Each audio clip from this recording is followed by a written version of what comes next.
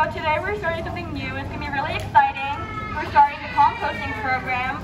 And what this means is that instead of dumping all your food into the trash cans, we're going to be dumping them into these green bins. And there's one over there too. So that means all your leftover food goes in here.